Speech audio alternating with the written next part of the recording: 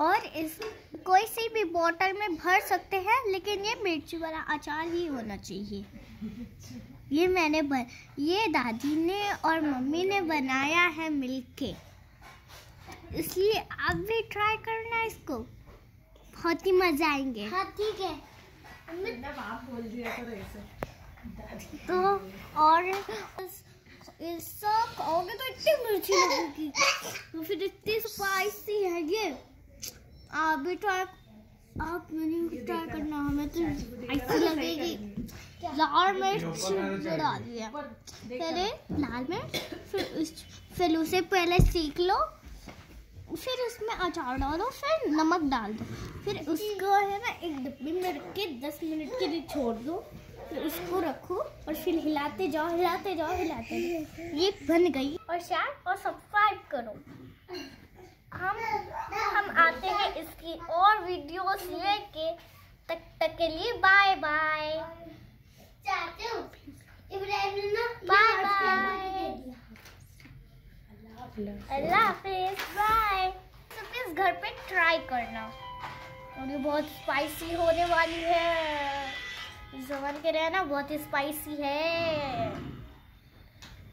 तक तक के लिए अल्लाह हाफिज। बाय अस्सलाम वालेकुम welcome back to my channel आज हम हरी मिर्च का अचार डालने जा रहे हैं। इसके लिए मैंने 400 ग्राम के करीब मैंने हरी मिर्ची ली है। इसको मैंने इस तरह कट कर ली और उसमें टू एंड हाफ़ चम्मच इसमें मैंने नमक ऐड किया है। और दो नींबू का रस मैं इसमें ऐड करूँगी।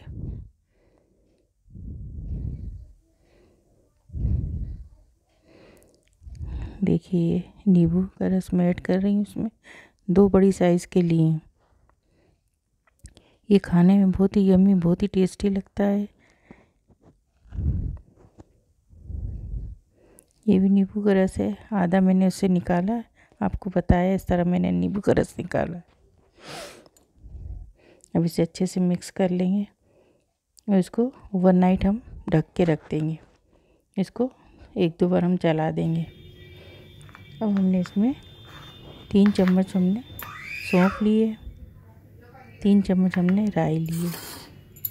वन टीस्पून हमने दाना मेथी लेंगे।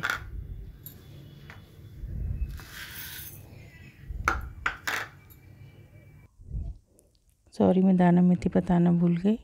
दाना मेथी मैंने ऐड कर लिया इसमें, इसका दर दरदरी हमने इस तरह पीस लिए। हाफ़ टी स्पून हमने कलौंजी ली है, हाफ़ टी स्पून हमने रेड चिली पाउडर लिया, वन टीस्पून हम इसमें हल्दी पाउडर ऐड करेंगे,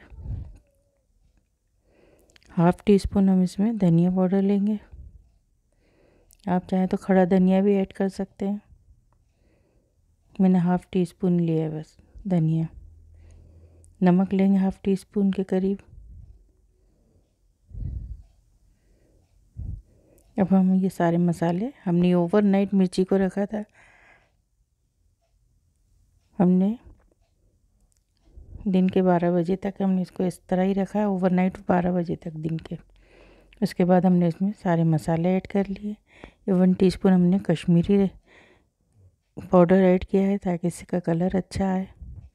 अब हम इसको अच्छे से मिक्स कर लेंगे। आप ज़रूर इसे ट्राई करें। खाने में बहुत बढ़िया बहुत टेस्टी लगती है। इसमें ऑयल की ज़रूरत नहीं। ये बिना ऑयल के हमने मिर्ची का अचार डाला है। बहुत झटपट इंस्टेंट हमने बनाया